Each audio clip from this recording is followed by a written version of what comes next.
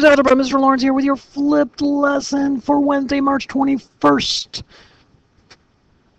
We are going to talk a little bit more about graphing quadratics and remember that we use the equation x so no I can't sing x equals negative b plus or minus the square root b squared minus 4ac all over 2a to help us do what?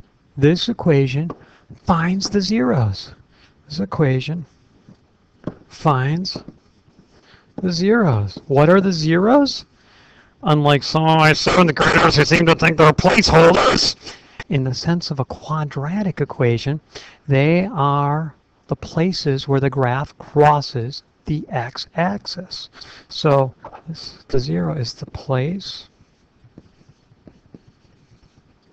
where the graph crosses, I should say places, because it could be more than once, crosses the x-axis, right?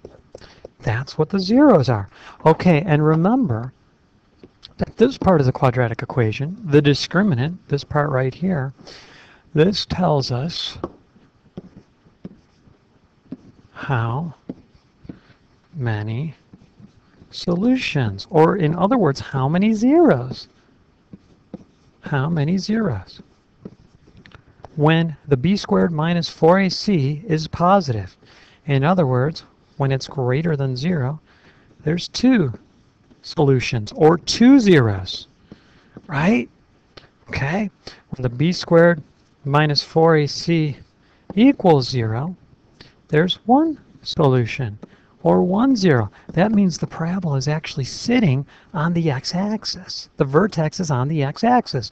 With one solution, the vertex is on the x-axis. Did I tell you that? The vertex is on the x-axis. If the one solution case. And the third possibility is that the b squared minus 4ac is less than zero, we get a negative under the square root. Jessica Balone would tell you we get an imaginary solution. And so we don't deal with imaginary solutions in this class, so we say there's no solution. That does not mean it can't be graphed. That does not mean it can't be graphed. It means that the graph, the parabola, is either above the x-axis or perhaps it's below the x-axis. It's one of those two possibilities. Okay, and of course, those could move around. They could be here or here or right there, almost so close, but not quite touching it. Or they could be way up there. Okay, and same here. It could all around. Okay, so now don't forget. Think about the person that created this quadratic formula thing. They must have been brilliant. Uh, it's just amazing because this part here I don't know if orange is going to show up very well. Um, this part here tells us very important information as well. All right, this part tells us the x coordinates of the vertex. The x coordinate of the vertex, not the y coordinate. Okay? So let's take a problem like this. Okay, let's take a problem like this. Oh, by the way, I'm going to apologize in advance. I'm not going to have the answer key on this one because these answer keys take me a long time to make up and I just don't have time to do it at the moment. I'll have it ready for you tomorrow. I'll have both answer keys. The answer, the answer key to the assignment that was due today that we didn't really check totally, and then the one that you got assigned today that is due tomorrow. Okay, I'll have both of them up for you. All right, let's say we have this equation, y equals um, x squared plus x plus, oh, 10. Okay, I know ahead of time that this is going to come out to be no solution. It's not going to cross the x-axis. I know that from experience. You don't know that yet. So we're going to go through and we're going to pretend like we don't know that, okay? So I'm going to put my graph over here, and I'm going to lock that in place and the first thing is I'm going to do, I'm going to identify A, B, and C. A, B, C. Easy as 1, 1, 10. There we go. All right. And then I'm going to go zero hunting. So I'm going to do x equals the negative of b plus or minus the square root of b squared minus 4ac. And that's all over 2a. Now I can see in here that I am going to get a negative. If you can't see that, go ahead and do the math. Okay, I'm going to get 1 minus 40, which is negative 39. Square root of negative 39 is an imaginary number. So I know right now there's no solution. I'm going to stop with this. And now I'm going to go here. Okay, so I found no zeros. If I had found zeros, I would then go to the x-coordinate of the vertex, and I'd almost be done. But because there are no zeros, I'm going to go right to the x-coordinate of the vertex. So I'm going to type x equals uh, the negative 1 over 2, which is negative 1 half. I just simplified that kind of bluish gray highlighted part there. All right, so I know that my line of symmetry is at x equals negative 1 half. And that would be approximately there. And I'll tell you what, I'll change the thickness of that guy so that, there we go, he's not taking up so much space. All right, that's pretty close to a half. So the vertex, the vertex is going to sit right on that broken line, right? Now I'm going to go to my t-table, x, y, and I'm going to put in negative 1 half which means I'm going to plug negative 1 half in to y, or in for x to solve for y. Negative 1 half squared plus 1 half plus 10. All right, this is going to be 1 fourth, right? I feel like I've made a mistake, but I think I'm I think I'm good. Plus 1 half plus 10. Well, 50 cents plus a quarter is 75 cents. This part here must be 3 fourths. If you don't know how to do that, 1 fourth plus 1 half, I can't add those fractions because their denominators are different. So instead of simplifying a fraction, I'm going to blow it up. I'm going to unsimplify it. I'm going to change 2 fourths, or 1 half into 2 fourths, because then my denominators will match. 1 plus 2 is 3. How many fourths do I have? I have 1 fourth here. I have 2 fourths there. I must have 3 fourths.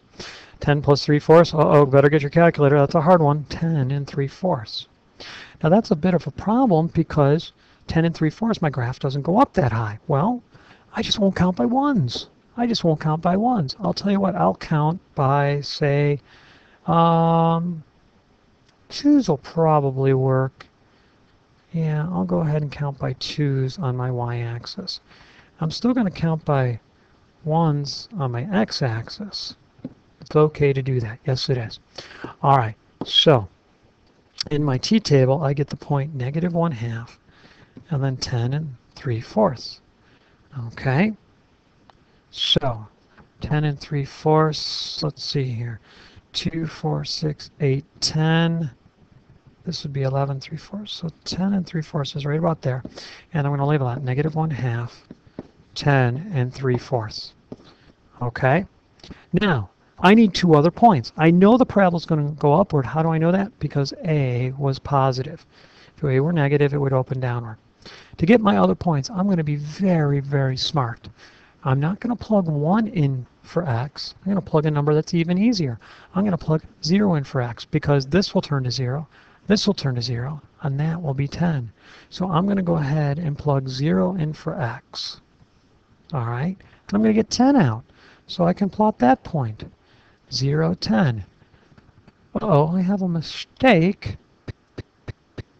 I have a mistake. My parabola is opening downwards. Hold on one second. Okay, I caught my mistake. It's right here. This should be a negative 1 half. So I should have uh, 1 fourth minus 1 half plus 10, which will change my work over here I'm still going to have, that's going to be minus 1 half. I'm still going to blow that up to 2 fourths, and that'll end up being a negative 1 fourth. And so then when I combine it, I'm going to get 9 and 3 quarters here. Sorry about that, folks. Hopefully you caught that on your own. 9 and 3 quarters. And so that will change this It's okay to see a mistake. Teachers make them. They happen. It's all part of learning. Two, four, six, eight, nine and three quarters. So it's going to be right about there. And that'll be at nine and three quarters. All right, now I feel better about my work. And notice how I can check myself as I go. All right, so I still get 0 for 10. Uh, 10 for 0. So there's 0, x, y. That's the origin. So at 0, I'm going to go up to 10, right? So I think 10 is right there, and that's the point 0, 10. Now I'm going to work so smart. I'm going to use the symmetry we talked about in class today. This point here in the x direction is half a unit away, right? I'm going to go half a unit away in the other direction. And when I do that, I have to get the same y coordinate out because of symmetry. So on this one, it's kind of hard to see because it's so close. This was half a unit. I'm going to go half a unit the other way, which ends up being right there, negative 1, 10. And I'll show you a, a better example here in a second. And there you go. There's your parabola. Okay, going to do one more example here. Try to get it done in under 15 minutes so Quinn doesn't yell at me. Not by the hair of my Quinny Quinn Quinn. Okay, so here we go. Let me lock that in place. Okay, in this one I'm going to look for A, B, C, just like in the last one. It's easy as negative 1, 7, negative 6. Now I'll go zero hunting. Uh, negative 7 plus or minus the square root of uh, 7 squared minus 4 times a times c, which is negative 6. The whole thing is going to be divided by 2 times negative 1. So then doing a little simplifying, plus or minus, I'm going to get 49. And then I'm going to get, uh, looks like minus 24, right? Okay, negative 2. Let me just make sure I don't have a mistake there. No, I think that's good. So then x is going to equal uh, negative 7 plus or minus, uh, 5, I think, because that'll get 25, and square root of 25 is 5, and divide by negative 2. So then my two zeros are going to occur at negative 7 plus 5 is... Um, yeah, this is good. Negative 7 plus 5 is negative 2 divided by negative 2 is 1. So that's one of my zeros. So get a nice big fat zero there at 1, 0. Okay. Now, I'm also going to get negative 7 minus 5 is negative 12 divided by negative 2 is positive 6. So that's going to be 1, 2, 3, 4, 5, 6. And that's going to be at 6, 0. Okay.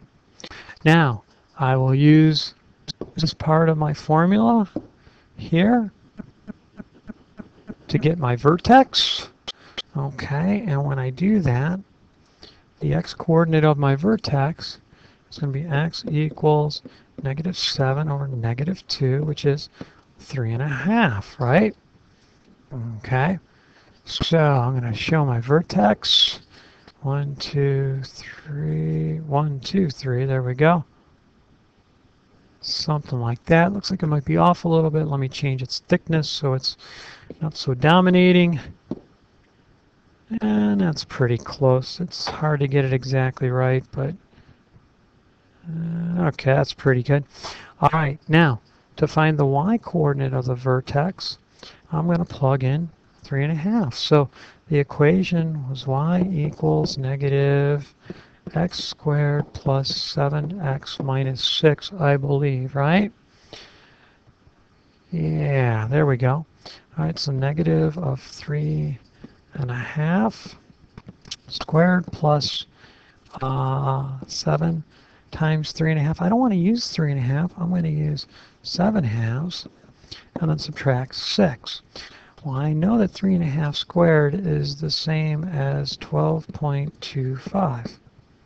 Uh, 3.5 times 3.5 is 12.25. I've shown you how to square two-digit numbers that end in 5. All right, this is going to be 49 over 2, which is half of 50 would be 25, so this would be 24 and a half, right? And then take 6 away from that. All right, so where are we at here? Uh, this is going to get me 12 and a quarter, I believe. And so I'm going to be at 6 and a quarter. I can use a graphing calculator to check. I'm suspecting 6.25 to be my vertex. Oh no. Oh, that's my y coordinate. Um, 3.5. Yeah, it is 6.25. Good. Okay, so I get the vertex at right here, three and a half, and then up set one, two, three, four, five, six and a quarter. So right there at 3.5, 6.25. Okay. All right, then I'm going to go ahead and draw my graph. And now I'm going to demonstrate that symmetry idea for you again. All right. How far is this point from the line of symmetry? Well, it's one, two and a half units. How far is that point from the line of symmetry? Well, it's half, one and a half, and another half is, oh, I missed it. It's two and a half units. You know how I missed it? I didn't draw the right part of my parabola well enough. Let me redraw that so it can be more accurate. There you go. It's a little bit better. All right, so this is two and a half units. That is two and a half units. And notice they're symmetrical. If I figured out what the equation was when x is 2, or uh, yeah, x is 2, find out this point, I will get the same point one and a half units on the other side when x is 5. I will get the same y coordinate. Okay? Alrighty. Mr. Lawrence signing off. We'll see you tomorrow. Goodbye, everybody.